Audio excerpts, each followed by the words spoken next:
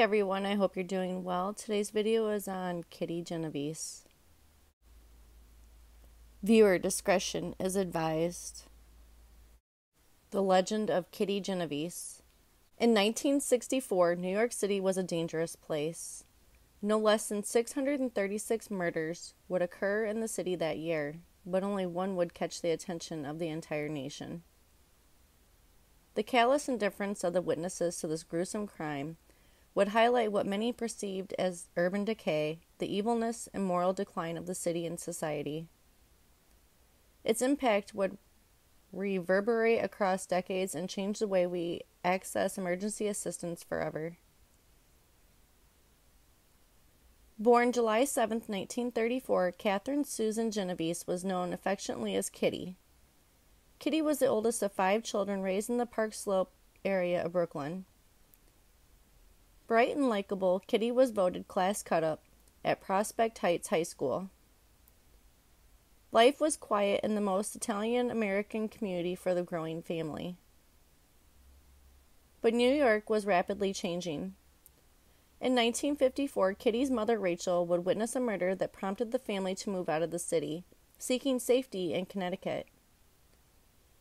To her mother's dismay, Kitty would stay behind.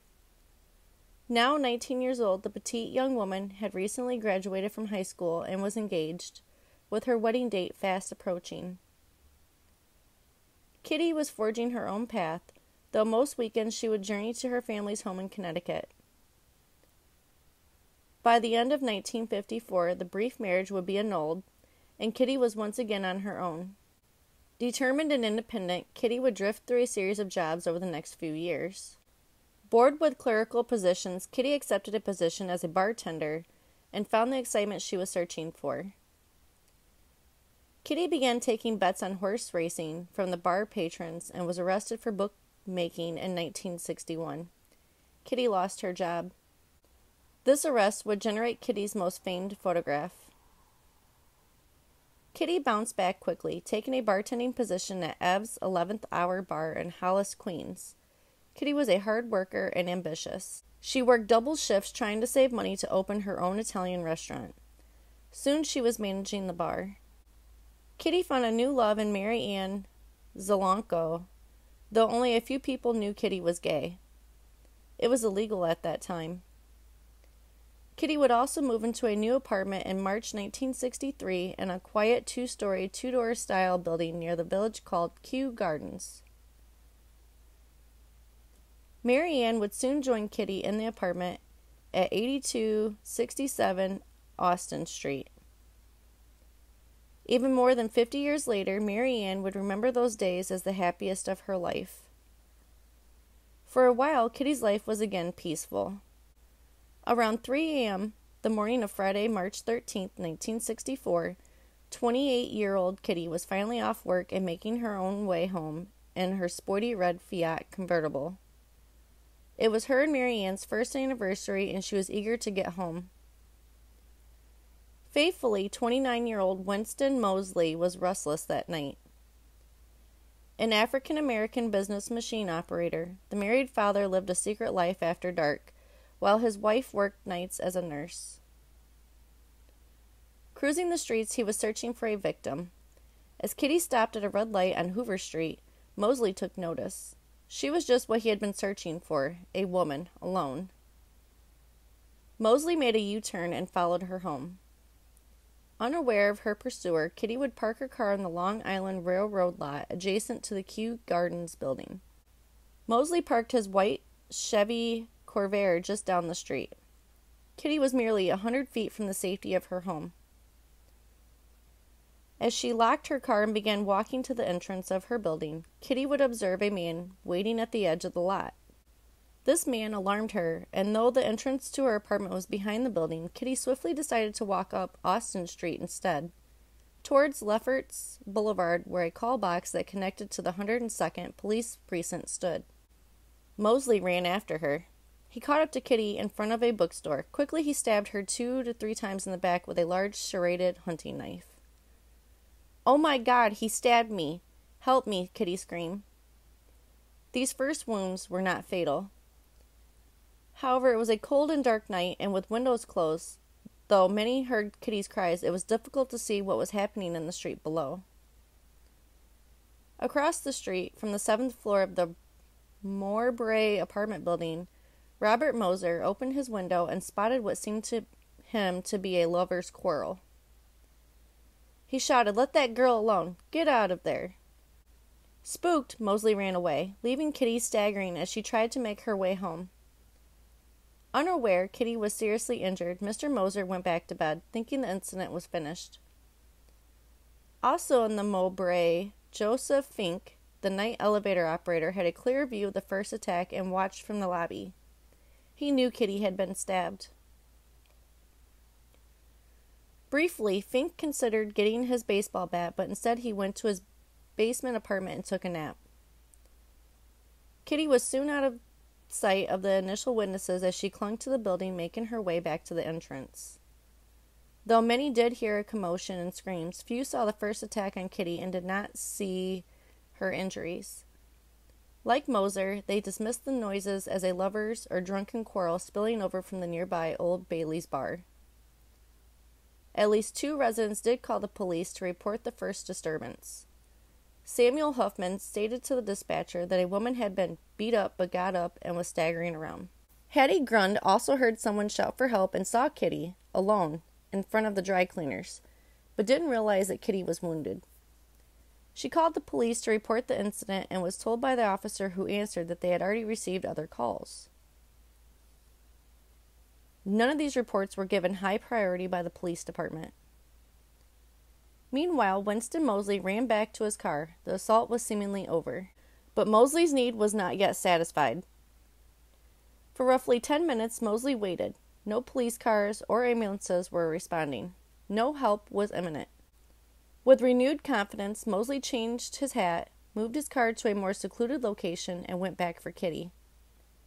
By this time, Kitty had made her way to the back of the Kew Gardens building, opened the entrance to the apartments. In terrible pain and losing blood, Kitty collapsed in the foyer. This is where Moseley discovered Kitty again. Now off the street and out of sight, he began stabbing and slashing brutally at Kitty. At some point, Moseley would sexually assault the seriously wounded Kitty. Kitty tried to fight back, screaming for help, her black leather gloves shredded by the blade. At the top of the stairs, Kitty and Mary Ann's friend and neighbor, Carl Ross, had heard the screams from the first attack, but, frightened, he did not look out his window. He waited as the noises stopped. Now the screams were much closer. Ross would pace by his door, debating what to do, but as the altercation dragged on, he finally cracked open his door. At the foot of the stairs, he saw his friend Kitty lying on her back, trying to speak to him as Moseley continued to stab her. Moseley looked up and made eye contact with Ross. Terrified, Ross retreated to his apartment once more. For reasons known only to Carl Ross, he did not call the police immediately, Instead, he rang his girlfriend, who urged him not to get involved. He then climbed out of his apartment window to reach a neighbor in the building to ask their advice. News of the attack would quickly spread through Kew Gardens, finally reaching Sophie Ferrara, a mother in her 30s with young children.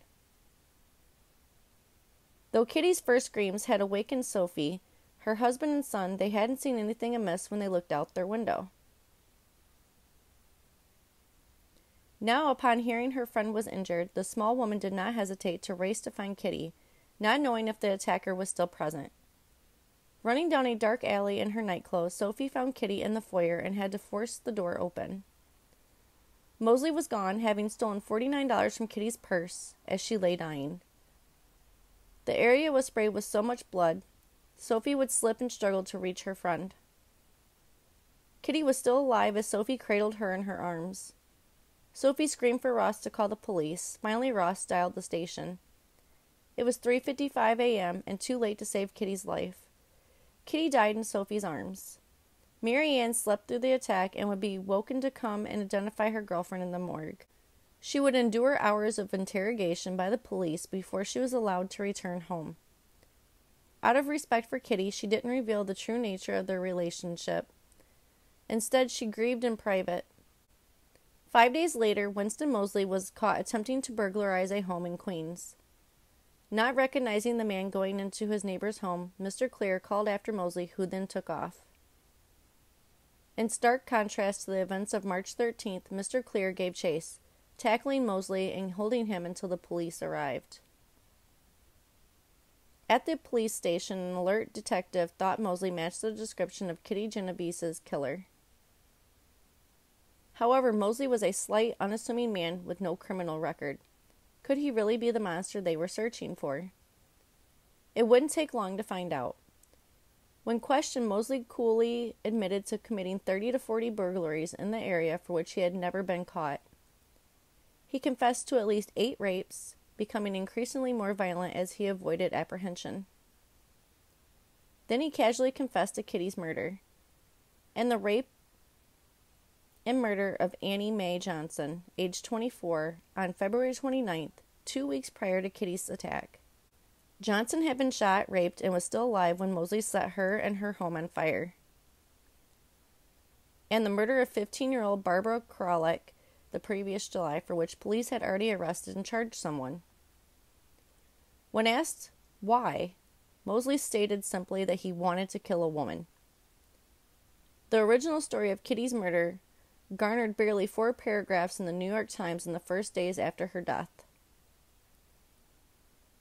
But two weeks later, the Times would publish a story that rocked the nation and launched Kitty's name into infamy.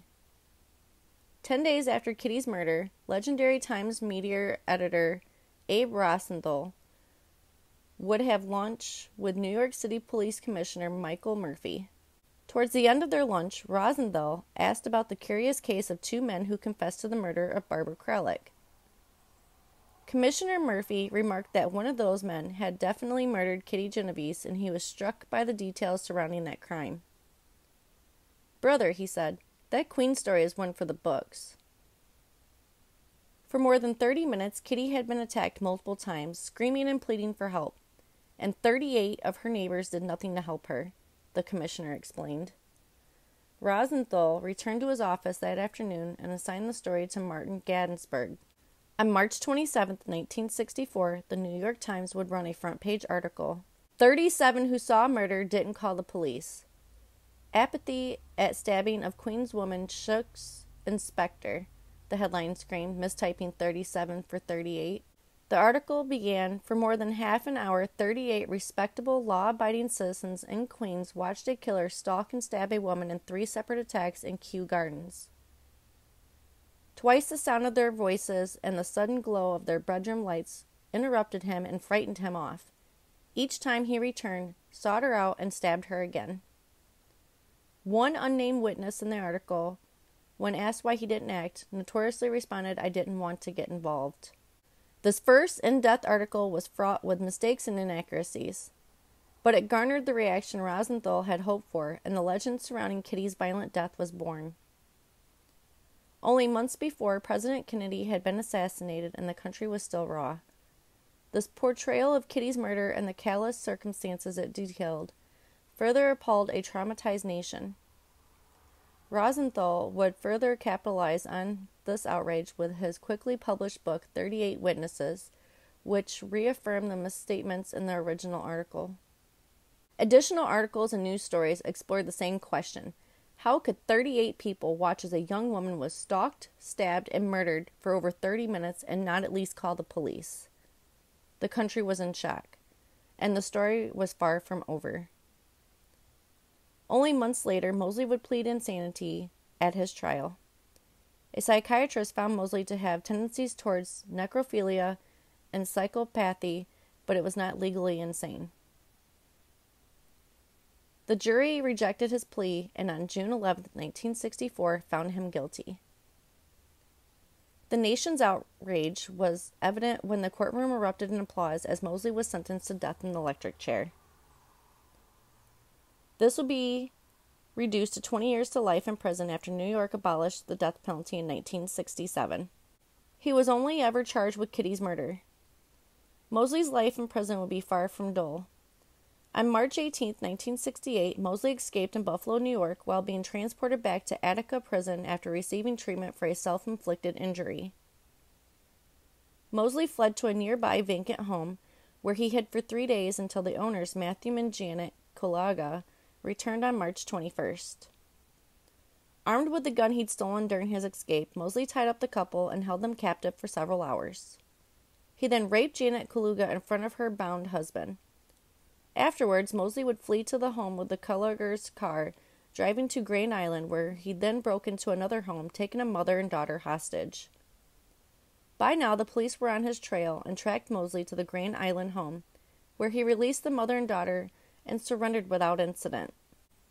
Two additional 15 year sentences would be added to his punishment. In 1971, Moseley took part in the Attica prison riots. Then in 1977, Moseley earned a bachelor's degree in sociology. Moseley would be denied parole 18 times before he died in prison on March 28, 2016.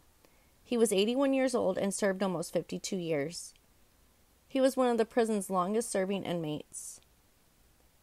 The generally accepted version of Kitty's murder would inspire a new field of research in psychology as individuals tried to make sense of the tragedy.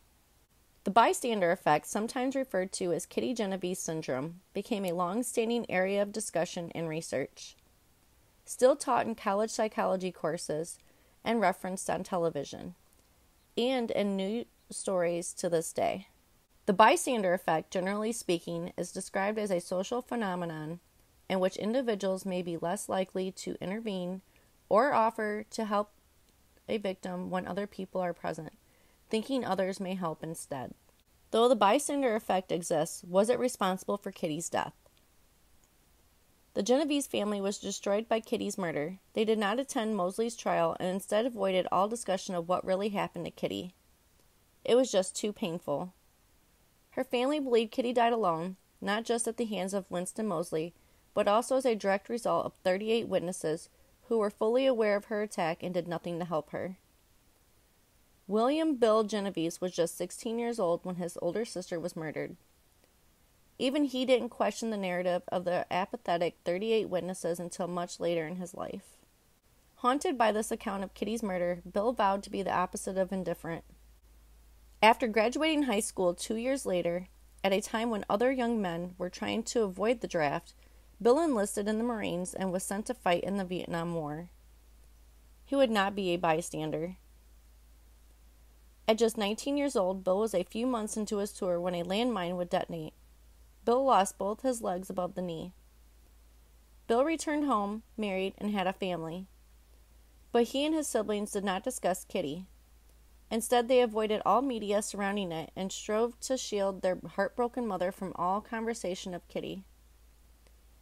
After the death of their mother, Rachel, in 1992, and yet another parole hearing for Moseley, Bill began to ask questions and became obsessed with learning about his beloved sister's final hours. In 2004, the New York Times would revisit their notorious story to mark the 40th anniversary of Kitty's death, and it was admitted to the mistakes it first published as truth. This sparked further fixation in Bill. Soon, Bill would meet filmmaker James Solomon and embark on an 11 year odyssey to uncover the truth about Kitty's murder. The result is a documentary entitled The Witness. Bill would learn that the New York Times and Abe Rosenthal were highly regarded at the time, and few questioned their account of Kitty's murder. Though often repeated, no one is certain where the number 38 came from though Bill speculates that it was an in- innocent clerical error.